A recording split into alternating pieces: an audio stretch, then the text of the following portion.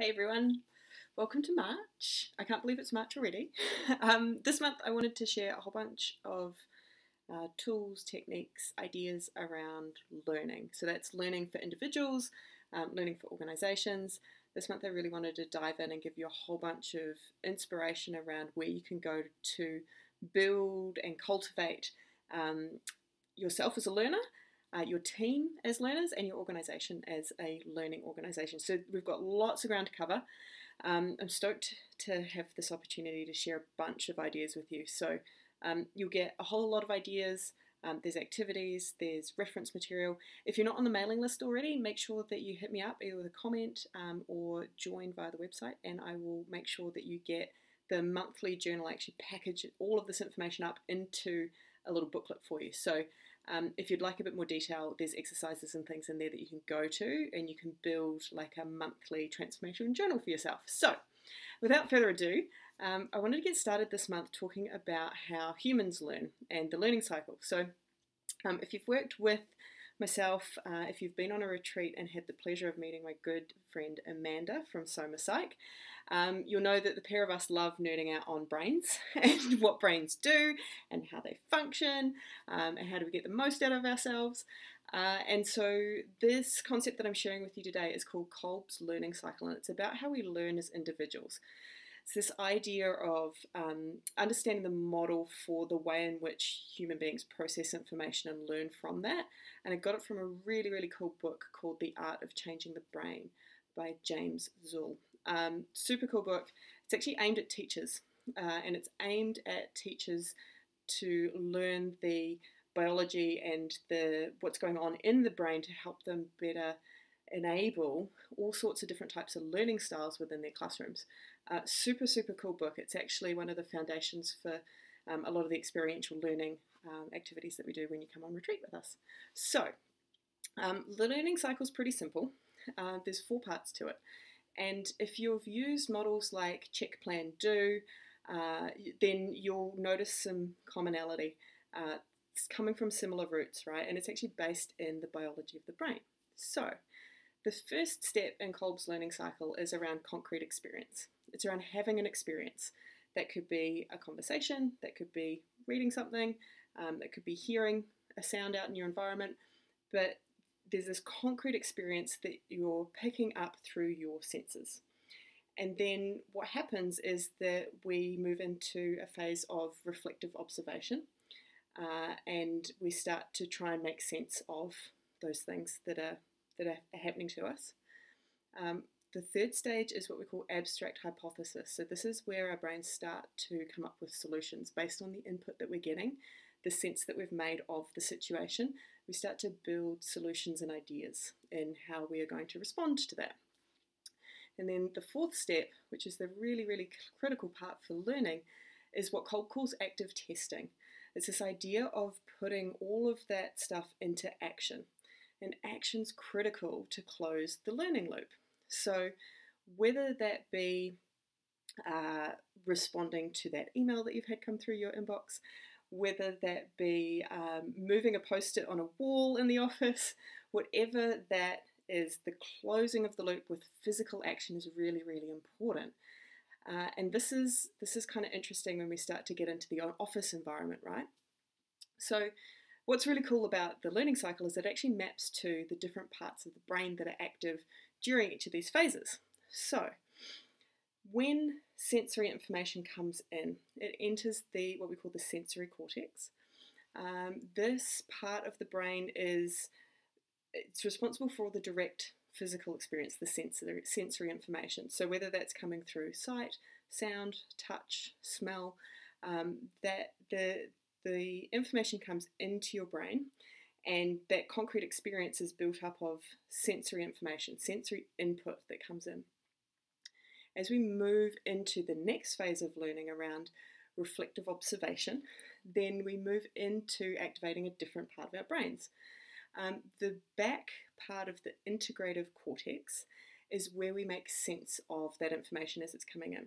So, this part of the brain lights up when we start to um, form memories. It's about identifying objects, faces, Uh, it's the creation of uh, meaning, so that's sense making that happens in that part of the brain.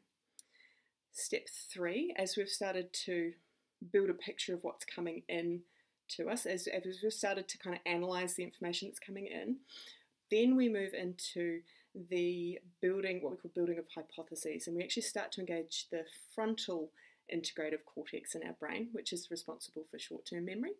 It's for uh, responsible for assembling language, for making plans, um, recalling past experiences. So we might look at has this thing happened before? Is there some some commonality that I can draw on from my past experience? Uh, putting together images and language to start to create new constructs. So it's the the putting together the pieces of the puzzle.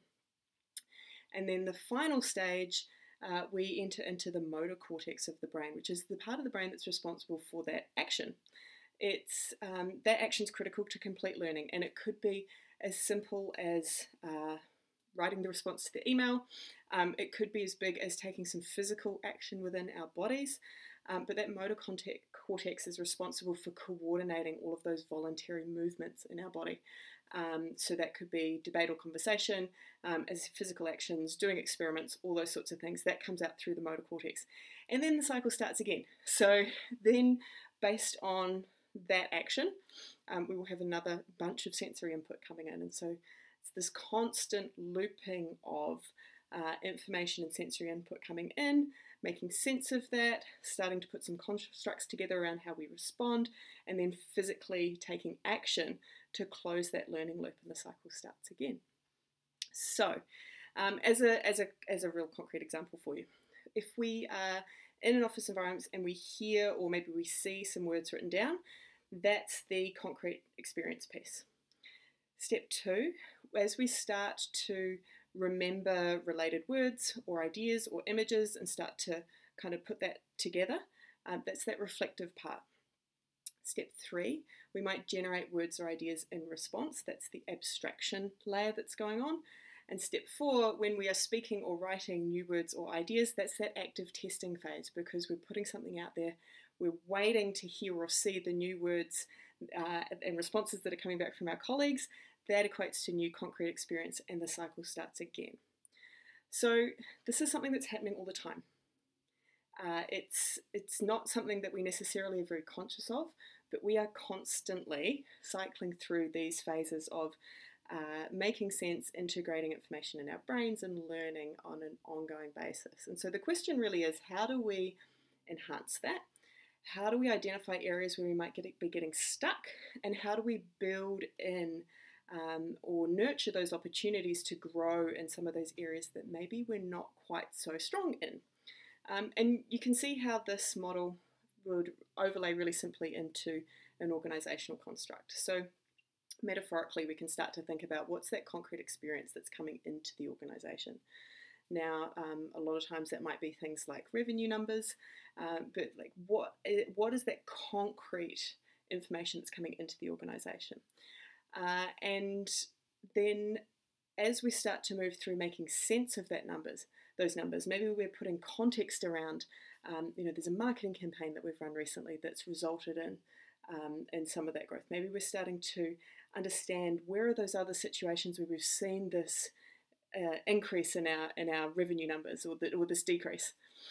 Um, we start to go through making sense of that, putting together a construct that says, hey, we're noticing this correlation between this type of marketing campaign and this type of increased sales opportunity. And maybe we go back out and we produce another of those marketing campaigns um, and and put that out there. In, in the hypothesis being that that will increase our sales again. And so we're still going through these cycles on an organizational level, but that's where it gets really interesting about understanding where you might be weak or where you might be stuck in each of those uh, phases of the learning cycle. Because if you can start to diagnose that, then you can start to go and build that muscle. Because as human beings, we're doing this all the time very naturally. But in organizations, we need to probably put a little bit more conscious effort into each of those phases so that we're building that loop because it's very easy for those loops to get disconnected um, or for the the noise and the and the crowding to come in with all of this sensory information that we're that we're taking in, all of this information from different avenues in an organisation. Uh, and so probably the the last thing that I wanted to share um, is that when we're going through these learning cycles, the first groove is always the hardest. If we're learning something new, if we're trying to make a connection for the first time, that one's the hardest because it's a bit like a track through the forest. The first time you cut a track through that through that forest wilderness, there's roots, there's fallen tree branches, there's a little leaf litter on the ground.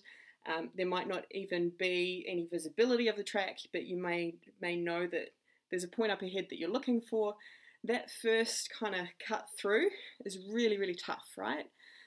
But the cool thing about reinforcing these learning cycles and reinforcing these loops is that once you make that first connection, the second time you walk through, maybe the grass has been pushed down a little and you can see the steps of, the, of, of where you walked last time.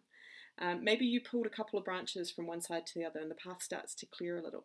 And as you go through and repeat these learning loops and you the, that repetition that's associated with further investigation, um, you know, further action, taking in more sensory information down a particular avenue of inquiry, as you start to repeat that, then the groove gets deeper and it becomes easier and easier to walk down that track a second, third, fourth, multiple times. So, I wanted to share that with you today because I know that certainly in my corporate career, learning was never something that was taught to me um, as, as, in any kind of training, any kind of um, sort of subject matter deep dive. It was just expected that we would quote unquote build a learning organization. And um, sometimes I find the theory and the ideas behind this stuff useful. So um, certainly for me, it's fascinating that when we're building these models for how we learn, it's related to engaging different parts of the brain as well. Um, and that if you are mindfully, consciously moving through those different spheres, um, then there's a whole kind of world of stuff that's going on within your team um, and within your organization. So I hope that was useful. And your homework for today is to go and have a bit of a look, write that learning cycle down. So remember from step one, concrete experience, sensory input, whatever that looks like for your organization. Um, step two, taking that reflection time and that observation, looking for patterns, looking for maybe where this has come up before, making sense of that that raw data that's coming through. Two, two distinct steps, right? We can often push those together when we're working with organizational data. Uh, step three, we start to form those hypotheses around if we were to respond to this information, what, what action would we take? Step four, taking that action and then waiting for that sensory input, waiting for that experiential input back again so that we can formulate the next round of hypotheses. So, your homework today is to go and start to map that out. What does that look like for your organization today? What are all of the areas that you get that sensory input from? Where is that information coming from? What are the relevant sources? Maybe where are some of the gaps? What are some of the senses that you're missing in your organization for feeding the data for your decision making? Um, start to map out where and how you reflect and analyze. Um, what are your methods for analysis of that information as it's coming in? How are you actively formulating hypotheses? What's the process by which you do that? So, not simply the answer that you come to, but what is the process by which you come to answers? Is that predictable and repeatable? If you were to feed the same information in um, on, on more than one occasion, would you get the same output? Or is there variability in that process of how you start to formulate those hypotheses? And then step four, how are you taking action? What are you actively experimenting with today? What are you actively working on? What's out there in uh, production, in market that is driving that next round of sensory experience? What's your process again for getting things out into the wild um, where you can get that feedback from customers, where you can get more of that sensory input. That's your homework for today, is to go and start to map that out and look at a really honest reflection of where you're strong in your organization and maybe where you're really weak and where you could start to build more of that muscle in each of those four stages. So I hope you found that useful. Um, and wherever you are in the world today, I hope you're having a wonderful, wonderful day.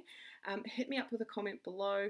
Drop me a line if you'd like to join the mailing list, and I'll make sure that I get the monthly journal out to you with all of the activities and the exercises in it. Have an awesome, awesome day.